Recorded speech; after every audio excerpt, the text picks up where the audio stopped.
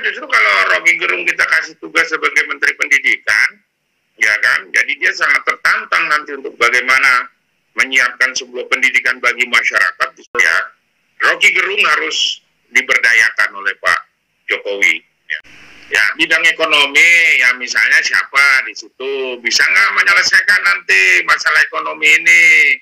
Cuman jangan hanya ngomong doang, ya kan pasti Pak Joko Widodo akan menilai ya kan? Makanya dalam beauty contest ini kawan-kawan kami ini harus pandai-pandai menarik hatinya Pak Joko Widodo ya kan?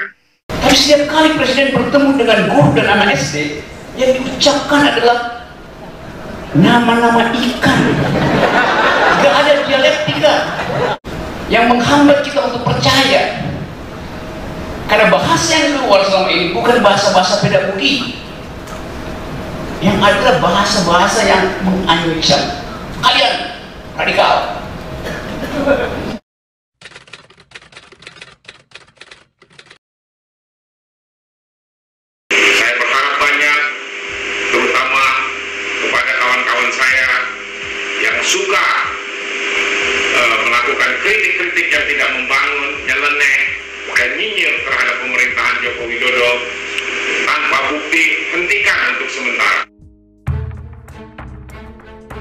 Arief Puyono menyebut anggota dari kami cuma Rocky Gerung yang layak jadi menteri.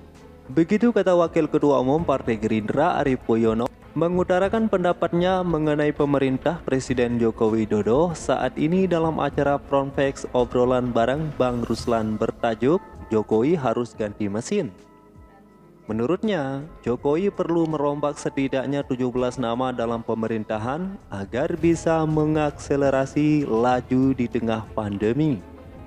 Kemudian ketika disinggung, apakah ada dari inisiator kami yang layak masuk untuk menggantikan 17 menteri tersebut? Ia pun menjawab dengan cepat. Ada satu, jawab Arief Puyono dengan sigap bukan nama besar seperti Gatot Nurmantio atau Din Samsudin, melainkan Rocky Gerung. Arif menilai bahwa akademisi yang kerap mengkritik kebijakan Presiden Joko itu bisa menempati posisi Menteri Pendidikan dan Kebudayaan yang kini diduduki Nadiem Makarim. Rocky Gerung bisa jadi Menteri Pendidikan, ujar Arif. Menurutnya, ada beberapa alasan Rocky Gerung layak dipilih untuk masuk pemerintahan saat ini. Eh, kontesnya itu bukan kontes kecantikan, artinya kontes bagaimana uh, menyelamatkan Indonesia, paparkan dengan baik-baik. Kan ya udah kan? tadi bang disampaikan bang, ekonomi, ekonomi bidang ekonomi bidang itu disampaikan tadi bang Ustadz terima kasih. Ya bidang ekonomi ya misalnya siapa di situ. Bisa nggak menyelesaikan nanti masalah ekonomi ini. Cuman jangan hanya ngomong doang ya kan? Pasti Pak Joko Widodo akan menilai ya kan? Makanya dalam beauty contest ini kawan-kawan kami ini harus pandai-pandai menarik hatinya Pak Joko Widodo ya kan? Agar bisa menjadi anggota kabinet itu kayak Pak Kin ya kan? Itu harus bisa lah ya kan? Memberikan sebuah gagasan besar ya kan? Oh, ide-ide besar ya kan? Bagaimana menyelamatkan uh, uh, negara ini. Walaupun sebenarnya negara ini sih nggak ada masalah ekonominya gitu loh. Kalau saya katakan itu nggak ada masalah walaupun sudah minus lima Hah? walaupun sudah minus lima.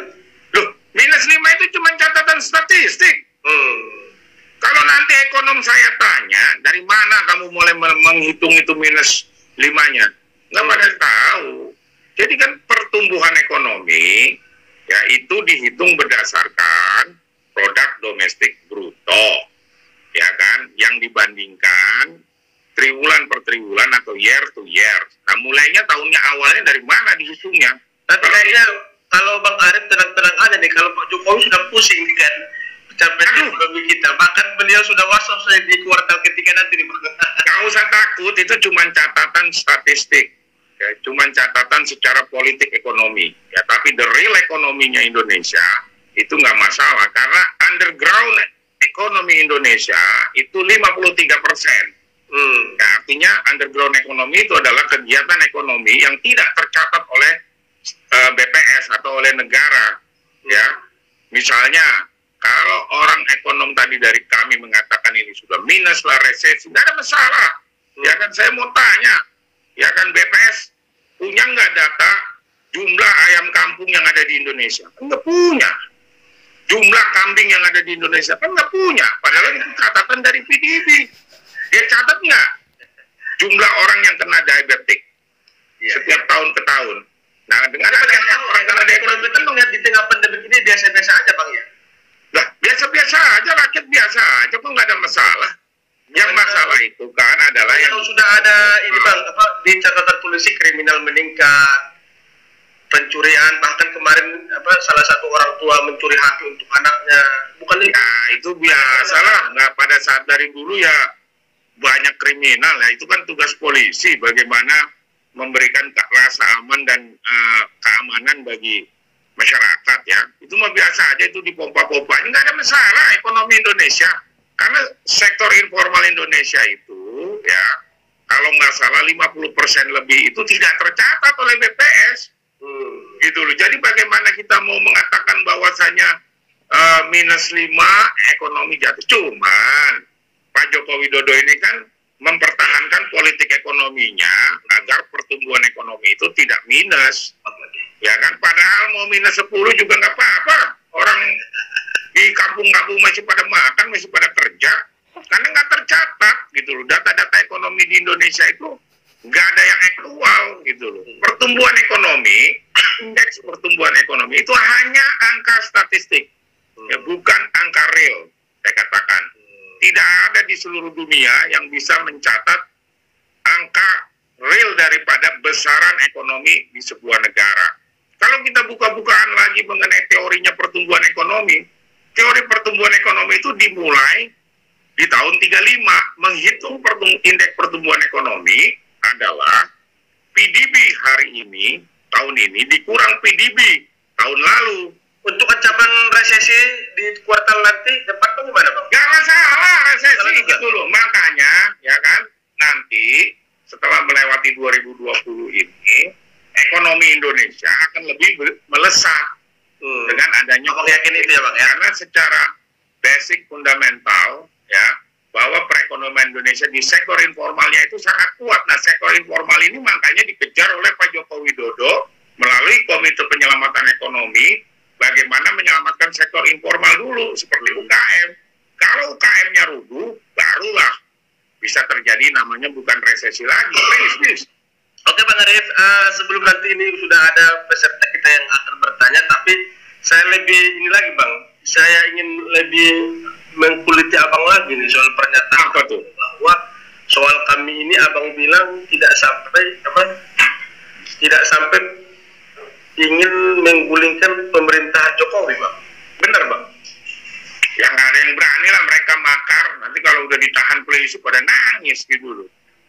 Tapi Ya. kan ada ancaman juga bang melalui Pak Anies katanya. Jangan dikasih, jangan jangan diizinkan tempat di Tugu Proklamasi sebagai tempat deklarasi bang. Ada juga gitu. Pengakuan Ya, mereka itu melanggar melanggar aturan, gitu kan? Mereka melanggar protokol kesehatan. Tadi saya lihat ada yang nggak pakai masker, gitu. Mudah-mudahan aja toko-toko kami itu nggak ada nggak kena covid gitu loh, ya kan? Harusnya kan mereka bisa deklarasi secara zoom gitu loh kan? hmm, Ya kan? Tapi udahlah, mereka itu hanya melakukan beauty contest menjelang reshuffle kabinet. Ya mudah-mudahan mereka kepilih jadi menteri gitu. tapi bagi mereka ini ada masalah besar loh bang. Atau kayaknya ada forum nanti kita buat nih bang mempertemukan abang dengan salah satu deklarator bang. Boleh, nggak sekarang begini, masalah besar apa sih Indonesia? Saya mau tanya, masalahnya apa? Masalahnya cuma ada di medsos, di realnya nggak ada, Hmm. gitu loh. Kayak misalnya dibilang politik eh, eh, apa? Politik apa sih namanya? Beda-beda itu identitas. Nggak ada di masyarakat, cuma ada perangnya di medsos, gitu loh. Medsos kok didengar gitu loh. Hmm. Ya, nggak ada di realnya, gitu loh. Memang ya kalau bicara ekonomi. Masa sekelas Pak Din, Pak Gatot sama Prof Prof itu salah baca gitu loh bang. ya salah baca lah mereka nggak ngerti orang dulu mereka juga nggak sanggup kok menjalani negara Indonesia ini dengan baik. Sekarang kan yang jadi kewalahan Pak Jokowi persoalan-persoalan banyak yang harus dia bereskan kan. Ya kan itu banyak ada Baktiar Hamansa, ada Said Didu, ya kan. Ada Dan mereka itu kan dulu pejabat-pejabat sebelumnya Pak Jokowi. Kalau mereka dulu ketika menjabat menjalankan dengan yang benar mengelola negara ini, hari ini Pak Jokowi tinggal enak-enakan. Nah itu akibat mereka semua kok. Gitu loh. Kan begitu. Ada sebab ada akibat. Ya kan? Oke, Karena Pak. kata waktu di zamannya saya duduk sama Batiar Hamansa, Indonesia sudah maju, nggak ada permasalahan. Ada banyak korupsi menumpuk. Eh, Ya kan? Kalau bertanya. Kan begitu. bang sebelum ke teman-teman bang, bang kapan terakhir ketemu dengan Pak Prabowo bang? Wah, nggak pernah ketemu lagi saya. Nah, se, se, apa pas KKLB gitu? Wah, KLB saya nggak datang, nggak diundang. Wah, abang kan ketua umum kepercayaan bang. Tahu gitu loh orang saya nggak diundang. Tapi ini apa ma- nah, bocorannya abang masih masuk di pengurusan yang akan datang bang? Pengurusan 2020-2025? Nggak tahu deh saya juga mau masuk mau nggak. Saya nggak tahu tuh. Terserah Prabowo. Kesayangan bang, masa nggak masuk? Ya terserah Prabowo aja kan. ya kan. Terserah dia lah mau masukin saya mau masukin juga nggak apa-apa. Oke bang, hmm, sebelum ke teman-teman satu pertanyaan lagi bang. Ini soal ada yang layak nggak bang? Tadi abang mau ngomong tadi ada satu, siapa bang? Silakan bang. Ya hanya satu. Kalau dari semua kami si Rocky Gerung yang cocok. Ya kan Gerung. Rocky Gerung belum pernah jadi pejabat negara. Gitu kan. Menteri apa bang? Ya bisa jadi menteri pendidikan kan. Rocky Gerung. Mobil siapa Ya kan? ya? Backgroundnya ya? Iya, justru kalau Rocky Gerung kita kasih tugas sebagai Menteri Pendidikan, ya kan, jadi dia sangat tertantang nanti untuk bagaimana menyiapkan sebuah pendidikan bagi masyarakat di saat COVID. Kalau yang lainnya kan pernah menjabat dan gagal, ya kan? Hmm. Artinya, ya apalagi masuk dalam keadaan medan yang sangat terjal saat ini, mereka juga pasti tidak akan sanggup. Gitu kan? Tapi Rocky Gerung menurut abang layak atau mau abang dorong aja dicoba dulu gitu? Rocky Gerung layak, saya pikir untuk sebagai seorang menteri pendidikan, ya kan? Kayak misalnya kan di situ ada siapa Repli Harun, Repli Harun kan pernah jadi komisaris, ya kan? Ternyata adikaryanya nggak maju, ya kan? Saya dulu pernah jadi mensek apa? Sesmenek BUMN, BUMN-nya pun nggak maju, ya kan? Bacar Kawansa, ya kan? Tapi kalau saya melihat dari semua tokoh kami, ya Rocky Gerung harus diberdayakan oleh Pak Jokowi ya paling enggak eh, banyak ide-ide yang out of the box dari Rocky Gerung untuk bisa eh, memberikan sumbangsihnya kepada eh, bangsa dan negara ini melalui pemerintahannya Pak Jokowi ya Profesor Rocky Gerung ya jadi gini dia kan seorang filosof seorang filsafat ahli filsafat ya.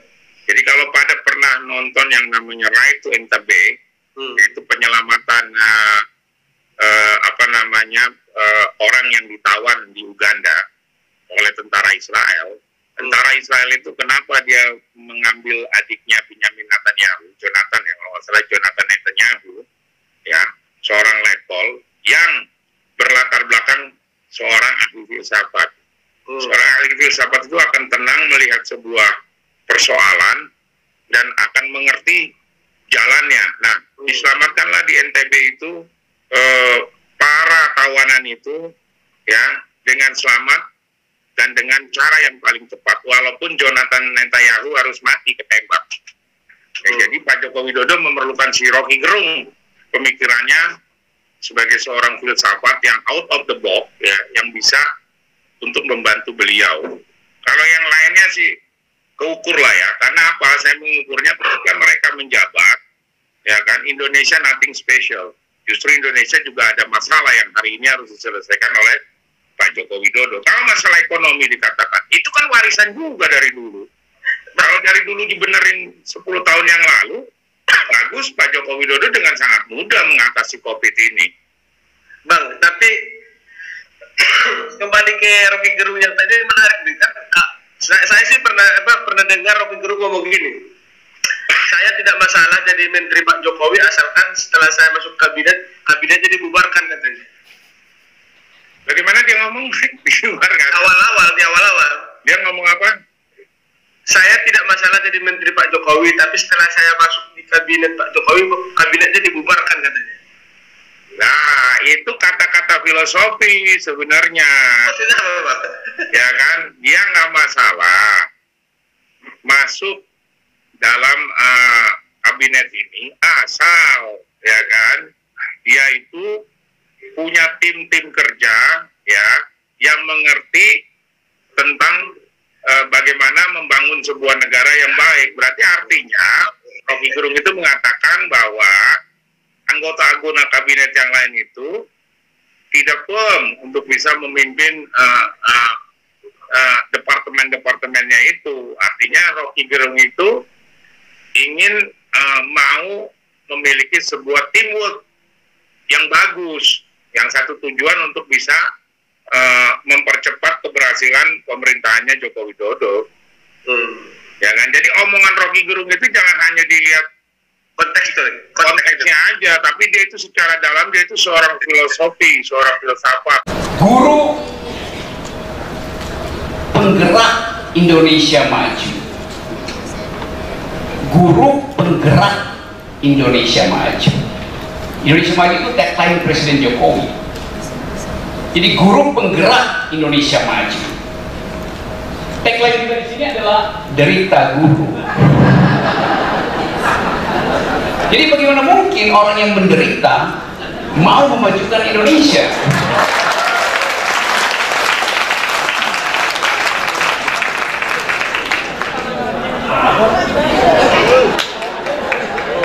Jadi dari awal ada kekacauan paradigma dalam cara kita berpikir. Kita hanya ingin promosikan spanduk, tapi konsekuensinya kita tidak mau ikuti. Kalau saya lanjutkan lagi logikanya, saya periksa aja lo- lo- logikanya. itu. Guru penggerak Indonesia Maju, yang menggerakkan guru siapa? Dengan ekonomi 5% apa yang ingin digerakkan? Bahkan guru menanggung kegagalan dari ekonomi yang tidak tumbuh. Jadi dari segi logika aja udah kacau cara kita merumuskan soal dan cara kita memotret persoalan. Apalagi kalau saya lanjutkan kritisisme ini. Guru penggerak kemajuan Indonesia. Guru penggerak Indonesia maju. Indonesia maju itu adalah fungsi dari sukses Departemen Perdagangan, Departemen Perindustrian, Departemen Pariwisata. Jadi guru adalah penggerak departemen tiga departemen itu. Kalau begitu Menteri Pendidikan harus menjadi super minister untuk mengatur tiga departemen itu. Kan itu logikanya. Jadi kita mau menghormati guru dengan membohongi alam pikiran sendiri. Seolah-olah dengan mengatakan guru penggerak Indonesia maju, maka akan ada energi turun dari langit untuk menggerakkan guru agar supaya berpacu menempuh Indonesia maju. Dipacu dengan 5%. Bahkan 5% itu semua negara di dunia dalam satu minggu ini mengutuk data statistik Indonesia. Bloomberg masih bicara itu, Australia kemudian bicara, New York Times bicara bahwa bohong Indonesia tumbuh 5% itu pasti dipalsukan data BPS. Yes, kita bisa baca di mana-mana itu. Jadi saya memulai dengan semacam pertimbangan akal sehat supaya kita bisa dudukkan problem ini sehingga kita tidak masuk di dalam jargonisme. Yang saya senang karena PKS selalu mampu untuk mencari isu yang paling strategis bagi bangsa ini. Semacam PKS itu partai kehendak semesta.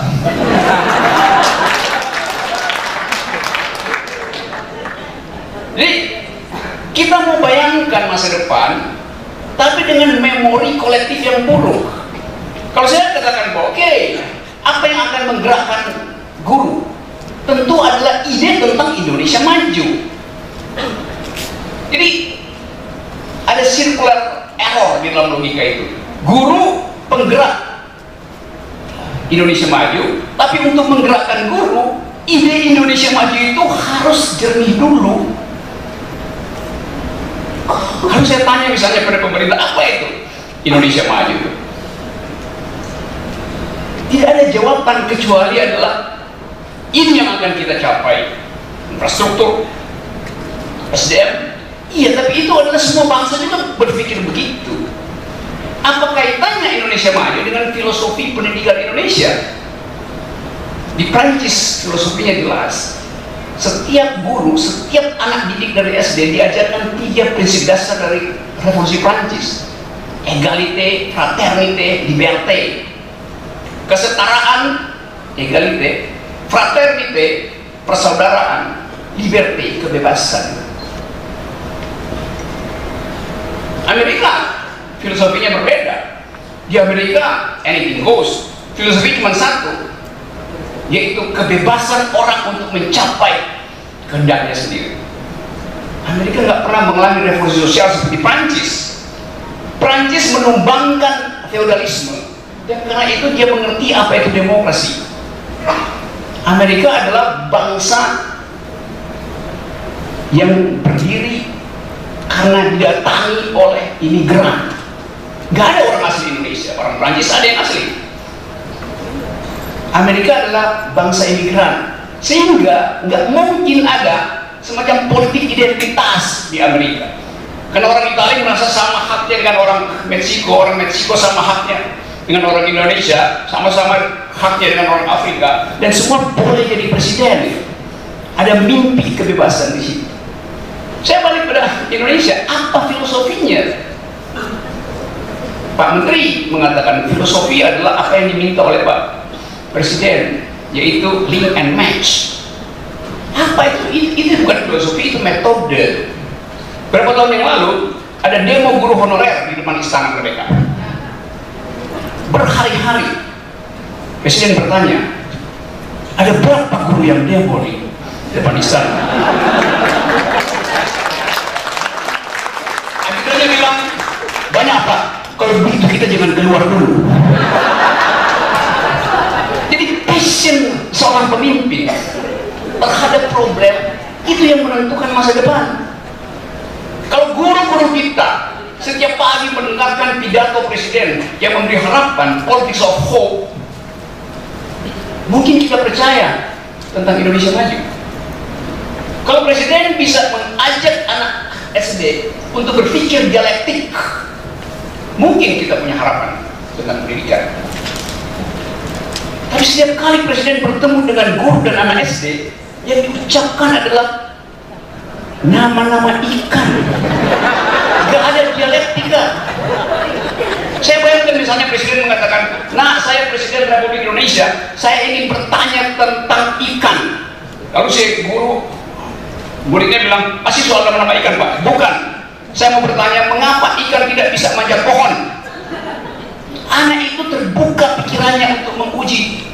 Dan dia cari di internet, apa keterangan chemistry sehingga ikan tidak bisa manjat pohon? Siapa bisa? ya anak itu mungkin bertanya begitu tapi siapa juga nggak bisa pak lalu terjadi debat antara presiden dan si anak anak buka google dia cari tahu. Oh ternyata ada gaya kohesi sehingga ikan tidak mungkin kenapa cicak bisa ada gaya kohesi karena itu pelajaran kimia dasar kohesi diajarkan di tingkat SD dalam bentuk yang paling mikro. Supaya anak bisa dilatih untuk berpikir gravitasi plus kohesi lebih besar kohesi karena itu ikan bisa manjat pohon jadi rumus itu datang dengan sendirinya karena ada dialektika antara presiden sebagai guru tertinggi dengan anak SD sebagai murid yang ingin belajar kalau cuma hafal nama-nama ikan si anak itu bilang gampang betul rumus dari SD cukup dengan menghafal nama-nama ikan. Jadi sekali lagi kita ada di dalam keadaan itu krisis cara berpikir. Bahkan itu terjadi di sampai di tingkat universitas mahasiswa dosen ada problem berarti ketika anggaran itu disuntikkan ke dalam sistem pendidikan Mesir bahkan dulu pernah menginvestasikan separuh 50% dari APBN-nya ke dalam pendidikan dan gagal. Jadi bukan jumlah uang yang diinvestasikan, tapi ide apa yang akan dirawat dengan uang sebesar itu.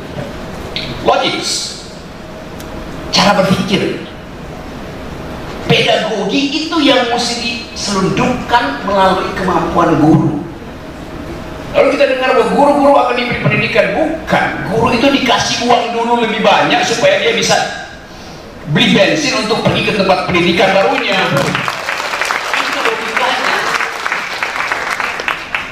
Jadi disiapkan pendidikan guru tapi ya, isi guru mending saya nggak belajar daripada saya nggak bisa biayai balita dia.